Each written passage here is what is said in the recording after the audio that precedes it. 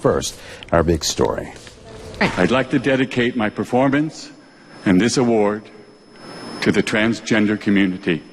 Last night at the Emmys, actor Jeffrey Tambor won Best Actor in a Comedy for Transparent. The TV show is about how a Los Angeles family copes with their father after he comes out as being transgender. Which sounds a lot like Caitlyn Jenner's family and the issues they face on Jenner's reality show. Both shows are about coming out later in life, but the reality is teens and even children are transitioning. Over the next few days, Debi Chard is going to introduce us to six local teens. You may find that their stories are an eye-opening look at real life. I had known that I was a boy since third grade, and that's when we lived in Illinois. Jay says it took a while to figure out what transgender meant. He was in the fifth grade when there was a lot of buzz about the pregnant man. So I asked my parents, and um, they explained what transgender was, and I was like, oh, that's a thing. I'm not just some tomboy that really, really, really wants to be a guy. Jay transitioned the beginning of his freshman year in high school. Charlie came out mid freshman year, so everyone knew him by his birth name. And I was really scared because even coming out to my parents who I knew would be supportive or coming out to my friends, it's scary because you don't know what to expect. Charlie says things are going well, but feels if he'd come out in middle school, it would have been very different. The staff is just kind of like, what do we do? So they just kind of stick to what they know, and they really don't know much. Middle schooler Gabriel can vouch for that. His mom says Gabriel's privacy was violated after Gabe confided with adults at school. His friend, his group of friends, found out about it before he could even have the opportunity to come out to them. Not acceptable, she says. He wanted to do it when he was ready. Um, most of my friends have been really supportive, and I think they kind of saw it coming from even before I even realized it. Many of these kids say middle school is already a scary and emotional place. Then add the stress of coming out. Luke's mom says a counselor told him not to. His first day of high school, he wore a he shirt. I wasn't afraid at that time. I just felt like it needed to be heard.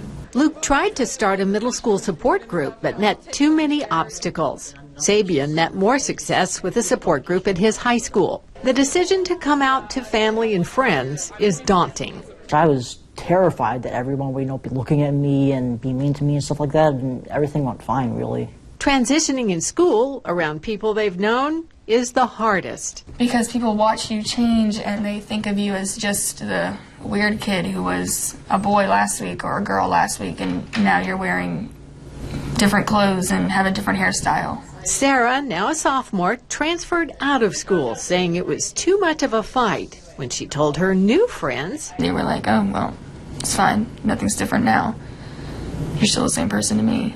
Parents want to protect their kids. That's why I think it's very important for set policies to be in place so it's not a come as it handle it as it comes basis. Policies experts say are needed at every level of the school system. Gender identity is something that starts developing the minute a, a child starts developing a personality.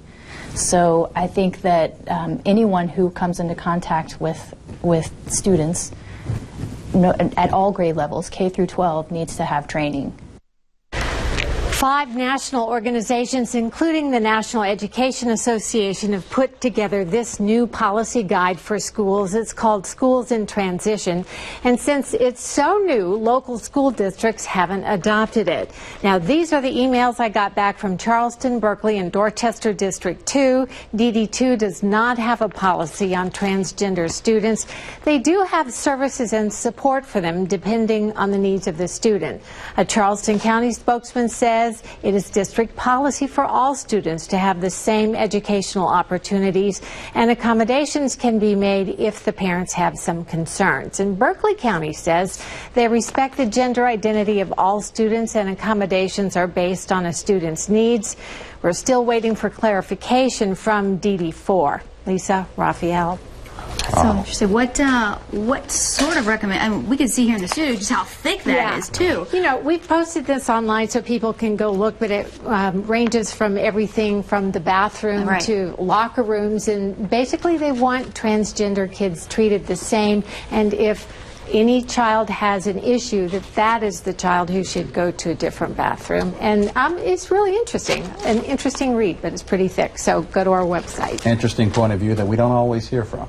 Exactly. Yeah, it's cool. It's cool to see just how many of their fellow students just seem to say, you know, oh, they're just my friend, no matter no matter who they We'll are. have more tomorrow. All right, sounds good. Thanks, Debi.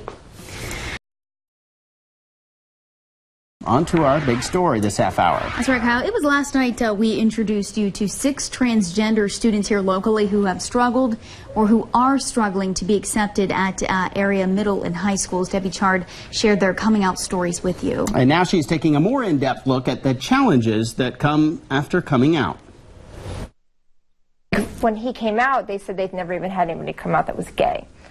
And so they were all completely uneducated. Sarah's 13 year old son Gabriel is in middle school. Not many of them understand or even have heard of transgender before. What Gabriel and the five other students share in common, they don't identify with the gender they were assigned at birth. These students have transitioned, like celebrities Chaz Bono, Jazz Jennings, Laverne Cox, and Caitlyn Jenner. We're all different. That's not a bad thing. That's a good thing. Jenner's Award for Courage. It's not that much of a help for middle schoolers because not a lot of them are reading about Caitlyn Jenner and stuff like that. Gabriel's mother says he's been bullied at school and shamed by the school bus driver who separated student riders by gender. Calling the driver's supervisor, his mother says she was asked inappropriate questions. He was asking me to verify over him. He was born female, but he's now male. Did he have a sex change? That's no one's business, she says. What matters is their identity. Even their name changes cause them problems. She got in trouble for it. Sarah is talking about a teacher who was told not to use Sarah's preferred name. It happened in middle school. No teachers were allowed to call me by something that's not a version of my first, middle, or last name. So I was no longer allowed to be called Sarah. Now 15 and a sophomore, Sarah is president of her high school class. Things are much better. It's crazy, amazing difference because as soon as I got to Berkeley Middle School, they immediately changed my name in PowerSchool. Power School is the school district's electronic record, a huge source of pain for transgender students. Right now, my name isn't legally changed yet, so I had this incident recently. 15 year old Luke says his legal name appeared on the smartboard in class. He had the roster posted on the board, and everyone saw my legal name. I also have had um, yearbook trouble. My name wasn't changed in the yearbook. Or in the office when he signs out of school. Here I am, hearing my my legal name again. So, what's that like for you? Like they're stabbing me in the back. Luke uses these to explain how his new identity hasn't changed the person inside. So the kids in the halls will call him Luke. There should be no resistance to changing it in the student ID, the yearbook, and any of those things. Every kid has the right to go by a preferred name. It's expensive to legally change your name. The families of these kids argue society accepts people who go by something other than their birth name. Lady Gaga is a famous example. Another issue the pronouns. And no one's called me by he. The best I can do is just tell people who ask me and try to explain it, but most people aren't that accepting. Some kids find an atmosphere of acceptance at high school in student support groups. I just thought it would have been a lot easier if there had been people to go to at the school. Support for the kids and the families also comes from an organization, We Are Family. The group offers training for schools, but local districts aren't taking advantage. More and more kids are coming out as transgender, and our, our infrastructure is just not there to support that. The school districts tell us they work with individual students based on their needs. Debi Chard, Live 5 News. And coming up tomorrow at 7:30, the extremes some of those students go to just to go to the bathroom at school. Plus, you may be surprised at the recommendations for sharing school bathrooms and locker rooms with transgender students.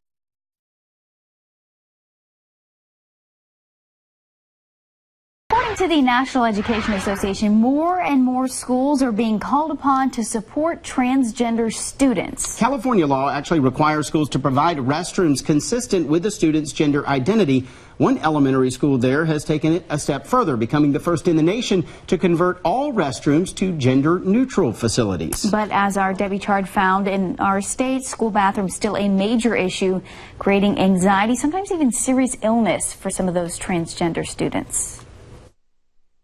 I'm an honor student, so I don't I really can't be missing class. Charlie calculates when to use the bathroom. I can't be 20 minutes away from class for just to go to the bathroom that I could be using right around the corner. But Charlie isn't allowed to use that boy's bathroom. He trucks to the nurse's room.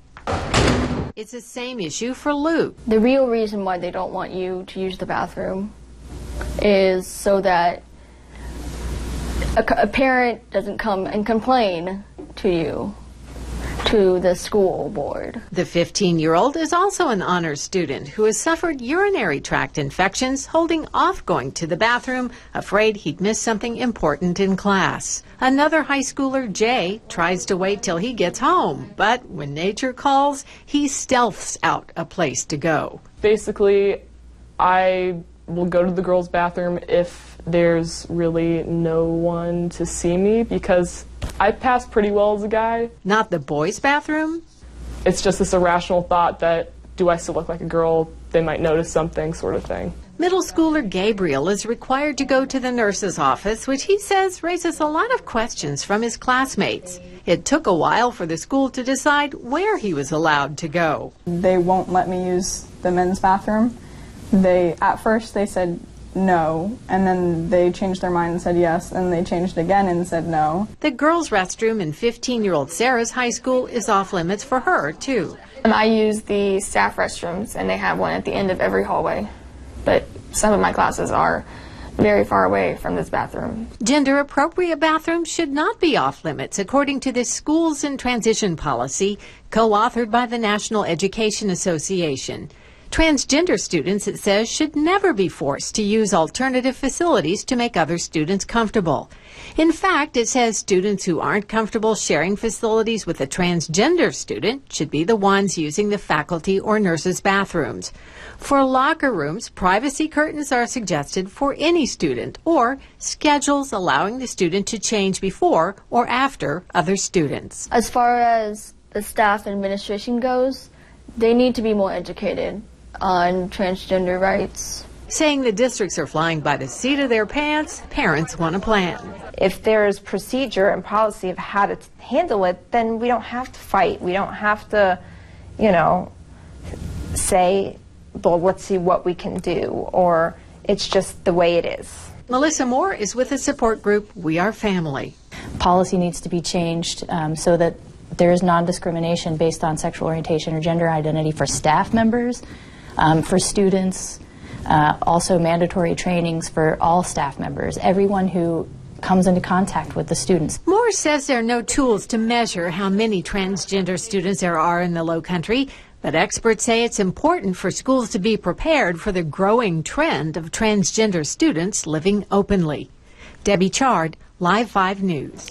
And you can see all three of our reports with the Low Country transgender teens by heading over to our website, live5news.com.